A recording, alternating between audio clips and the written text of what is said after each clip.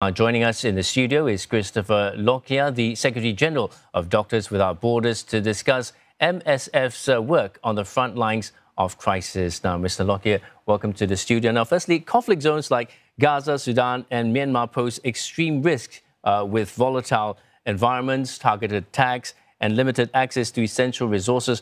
How does MSF navigate such dangerous areas and more importantly, to ensure the safety of its teams on the ground? Mm.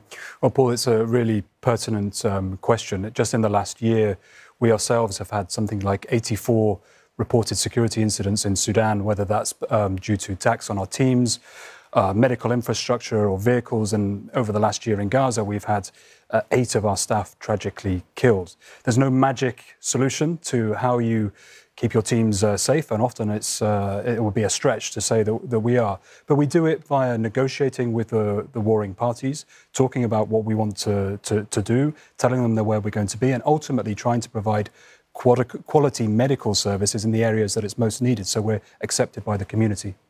Now, a number of MSF staff have been killed in the conflict in Gaza and Sudan recently. Uh, has there been any accountability mm. for their deaths and what must be done to prevent more casualties in such situations? Very, very little. We've asked for, and we continue to ask for accountability of the deaths of our staffs. We do our own investigation and follow up, but we also um, want those who are responsible, um, the perpetrators of these crimes, to be held accountable as well.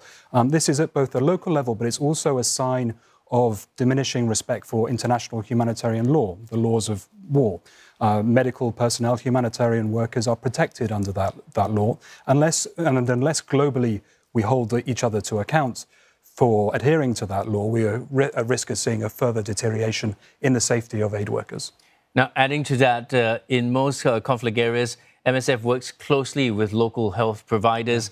How does this collaboration keep healthcare going, knowing that MSF's direct access is also limited? Well, yeah, that's a that's a really important observation. In the vast majority of places that we work, we try and work alongside local ministries of, of, of health. We like to um, support those ministries of health and, and those local health workers where we where we can. We partner with them. But in somewhere like uh, Gaza, the health infrastructure has been uh, decimated. There's now something like uh, 19 of the 36 hospitals in Gaza have been uh, destroyed through to a, due to a systematic destruction of the healthcare system. So it becomes extremely difficult to continue to partner in a situation where our colleagues are essentially being targeted. Now, you have been unequivocal in your support for UNRWA. What do you make of Israel's allegation that Hamas has infiltrated the organization and now has banned uh, the aid agency? I think UNRWA really is the backbone of the humanitarian response in, in Gaza. Um, you see floods of statements from UN agencies and uh, non governmental organizations, humanitarian organizations, over the last 24 hours, and all of them are saying that UNRWA is a lifeline for the people of Palestine. We, as an as a independent, large, medical humanitarian organization are also unequivocal in that we, we need them for our access in Gaza as, as well. Now, in Gaza and uh, Sudan, the erosion of international humanitarian law is an alarming trend. What steps is MSF taking to highlight and challenge these violations? Well, we're going to continue talking about these violations. We're going to keep talking about states responsibility because it is ultimately their responsibility to uphold international humanitarian law. It's something that they have committed to. And we're going to continue to push them to do their job when it comes to ensuring that they do, uh, uh, they do hold violations of international humanitarian law to account and they continue to promote it as a means to allow there to be some form of order when it comes to these horrific conflicts. Now, from your perspective, how uh, can Asian countries play a role in upholding humanitarian standards and uh, specifically taking violators accountable to these uh, high conflict areas?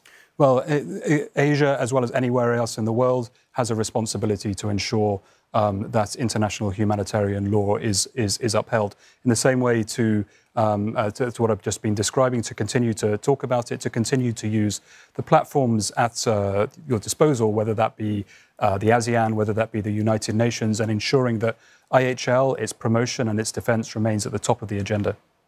Now, talk about health concerns uh, often get sidelined in climate policy discussions despite clear links between climate change and health crisis. As these climate impacts grows, uh, what steps is MSF taking to make sure that health remains a priority in uh, global climate discussions? Well, you're right. The climate crisis is a, is a health um, crisis. And we are promoting that all discussions around climate change have a health element into it.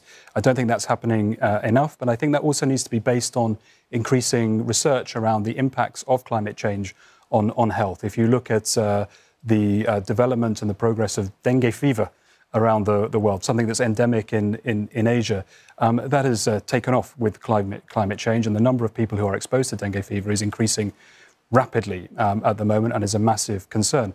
There's a lot of work happening in, in Asia in terms of methods of preventing mosquitoes from transmitting dengue fever, and that's something that can really be transmitted to other parts of the, the world and something that we would like to do. Now, lastly, uh, conflict and climate ch challenges certainly escalating, as we can see. How's MSF preparing to navigate the many, uh, this volatile and unpredictable humanitarian landscape? Well, I think there's, there's, there's several answers to, um, to that. Firstly, um, we must remain responsive. We must be able to have surveillance around the world to ensure that we, we know when things are, are happening. But also, it goes back to uh, sort of your first question in many ways. One of the, the difficulties that we have in, in all of these conflicts, whether it's be in Gaza or Sudan or Myanmar, for example, is access to the people who are most affected that we're struggling with most. So often, um, the difficulty is with the authorities, with the negotiations of the belligerents, of the warring parties, to be able to get to the people who need it the most. And whatever the crisis, whether it's a cyclone, a typhoon, an earthquake, or uh, a violent conflict, a man made conflict, it's getting that access which is key to be able to treat people who are suffering and provide them with their most essential basic needs. Well, Mr. Lockyear, thank you so much for coming in and sharing your insights with us. And we've been speaking to Christopher Lockyear, the MSF International Secretary General. Thank you.